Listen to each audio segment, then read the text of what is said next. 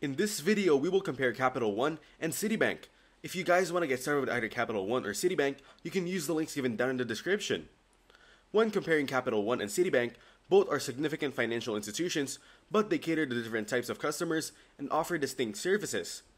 Capital One is best known for its credit card offerings, including a wide range of options for cashback, travel rewards, and no foreign transaction fees. It also provides banking products such as checking and savings accounts, auto loans, and personal loans. Capital One's mobile app is highly rated for its ease of use, offering features like account management, transaction tracking, and credit score monitoring. Additionally, Capital One is known for its competitive interest rates on savings accounts and its innovative approach to banking, including virtual services and tools for managing personal finances. Citibank, on the other hand, has a strong global presence and offers a comprehensive suite of banking services, including checking and savings accounts, investment services, and loans.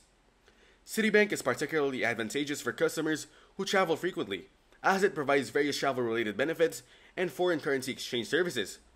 Its mobile app is user friendly and includes features like budgeting tools, account management, and advanced security options. Citibank's credit cards often come with valuable rewards and travel perks, making it appealing for those looking to maximize their spending.